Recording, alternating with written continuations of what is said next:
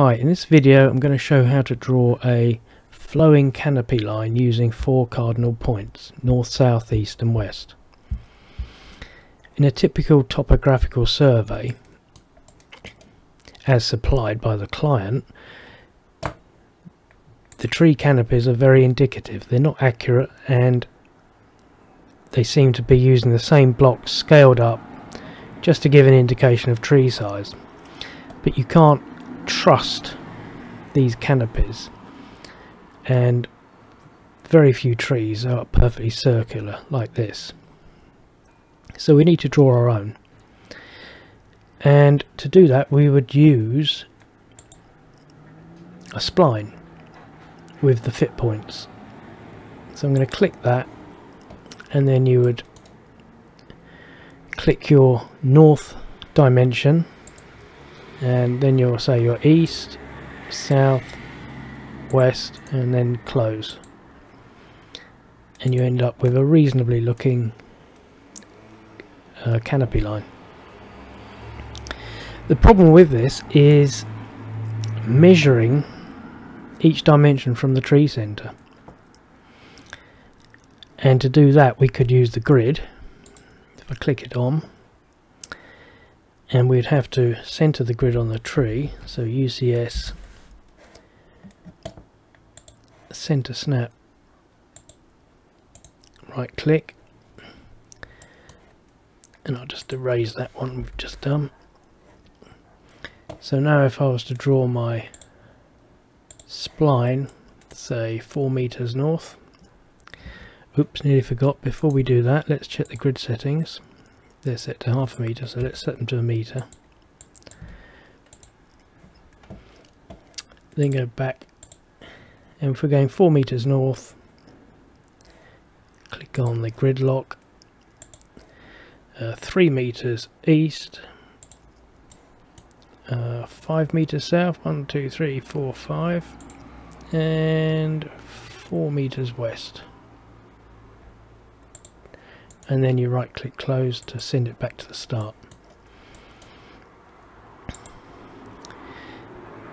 But to do that for every tree, resetting the UCS, replotting your lines manually for what could be 100, 150 trees is going to take a while.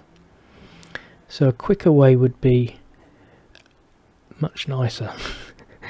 and for that we're going to create a dynamic block which will do the job for us. All we would then have to do is enter the data into the properties and it'll draw it. So before we start that we're going to create a layer a new layer. I'm going to call it arb canopy give it a nice green colour. And I'm going to give it some line weight. And I'm going to make it current. Okay. So it's now set as the current layer. I'm going to delete that. And I'm going to redraw just a circular one uh, say 5 meters. So it's 1 2 3 4 5 1 2 3 4 5 1 2 3 4 5 1 2 3 4 5 and then right click close. And up here I'm going to create a block and call it arb canopy and the pick point will be the center of the tree. And insertion will be meters. I'm allowing it to be exploded. I want it to be openable in the block editor. And select the object so I'm going to select that spline we just made right click and then I'm going to click OK. And we go into the block editor. And we've still got our grid on.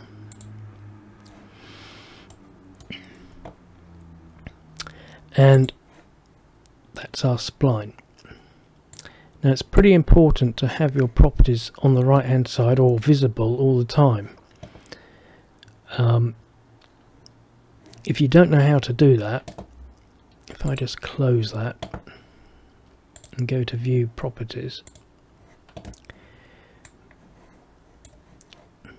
it, yours will probably end up like this. So you just grab it move it until it sort of locks into the right edge and it stays there. It's important for this demo that you you have your properties visible. And I like mine there out of the way. You can make it smaller. You can hide it. Bring it back so I'll just hit the escape button to cancel that and we're going to start by adding a, a linear parameter from the center. We'll start with north up to the top and I've got my grid on and I've got grid lock on so it's locking nicely to these one two three four five points. And then you it's asking you for the position of the parameter so just click there and then click on it. And I'm going to give it a name north. And the number of grips I only want one grip. The grips are these blue arrows. And those are the things you're going to grab and adjust it with. So I'm just going to have one at the top there. And we're going to keep this as we're not going to have any override on the distance adjustment. That's great. Hit the escape button again. But that's just a parameter. It's pretty static. It doesn't do anything unless you add an action to it. And we're going to add the stretch action to that. And once you click one of these actions you need to just read what's coming up in the command line. It's saying select the parameter which is the north one. I'm just going to turn the lock off for now. And now it's asking me which parameter point point to use. And you can see a red cross there. Well I want the red cross at the top because that's the bit I'm going to be pulling. So you click that. And then it wants a bit of a stretch frame. So you just you're going to make a square with your thing you just click click and hold your mouse down drag it and then release and click again. And then it wants you to select the object which is the spline and then hit the enter key. So I've now made an adjustable parameter for north. And if I go back to the block editor you can test the block there's a little thing up here click that and if you click the item you've got a blue arrow and I can pull him up or down but also in the properties you can enter the value. So if it's 4 meters north, I just enter 4. 2, 11 or whatever, 11, there you go. And fine tune it if you wish. So I'm going to close my test block and quickly now add all the other three. So back to parameters, linear. Switch the grid lock back on center to the side and just put the label there select call it east. Number of grip points 1 action. Stretch. Select the parameter. Turn that off because it's messing it up. And then the red cross goes on this one. Stretch point. Object enter linear from the center down to the bottom south and one grip point. Action stretch select the parameter red cross stretch frame and the object. And then the last one.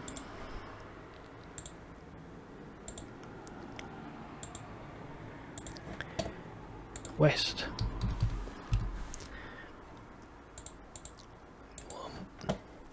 And action stretch. And the stretch frame and the object and enter. So let's test that. So if I now click it I've got northeast southwest east 12 south 3 west 4 north 6 and you can see the problem now we have with using a spline because it has to maintain a nice curve going through your four points it does occasionally have to overlap to maintain that curve. It, it can't curve down here go through that and keep a nice curve to meet this point. It has to it has to flip out slightly. And that's why we're keeping these as adjustable. So you can just fine-tune it if you wish. Although to be honest I would only do this on extreme shapes like this. In most cases where you've got a fairly uniform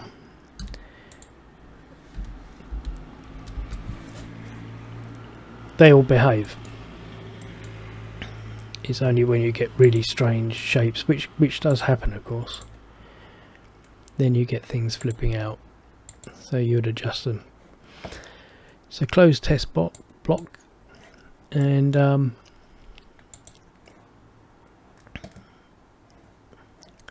close the block editor.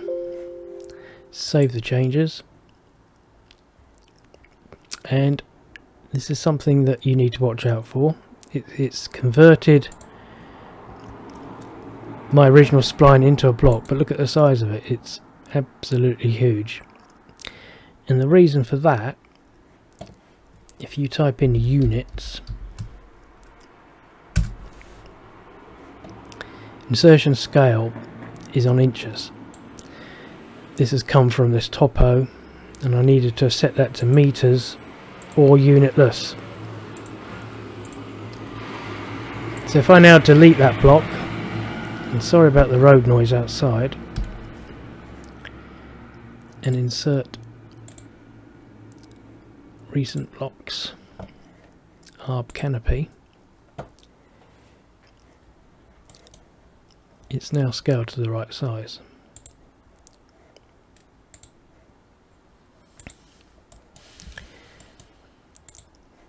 And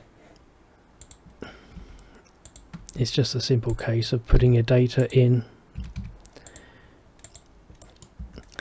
And what you would do is when you've done one tree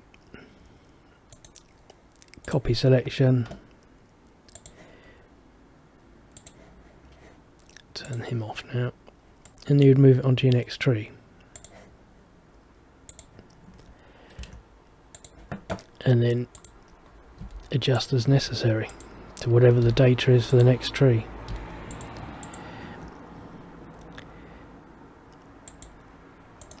Or you could do them all at once and then go around and adjust them. But personally, I would probably do them in batches.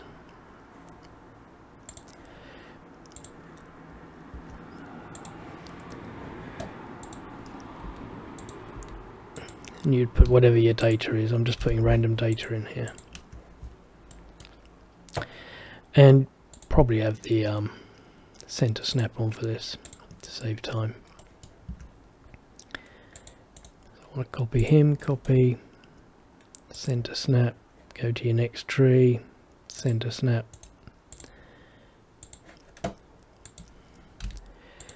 and adjust your data. And if you need to retune it, you can. But remember, you'd have to reset your UCS to each tree. So your grid is, and then use this. So you don't only really need to fine tune for difficult shapes. You can see it's overlapping that. I personally wouldn't worry about that, but you could just bring it back so it just touches a line there if you wanted to it's just being picky and if we go to home you would then when you finished turn off all the original trees so you're just left with yours. And if you show the line weight. And that's it really. And if you want to put the UCS back to its original you just type UCS and world it's gone back to where it started which is down here somewhere. If you need to go back and modify your block just click on one of them right click block editor and anything any changes you make let's just make a change for the hell of it. There you go hasn't really changed anything when you close it will say save changes or discard. And if you save them the block will be updated which is handy. For instance if you wanted to change the color of this it's done by layer. Let's say we just override it for the hell of it. And I now close and save the changes. All my blocks that I've made have had their colour changed. So it's very useful. It doesn't mean you have to go through every single one. And um, mess about with it. And that's it. Thank you very much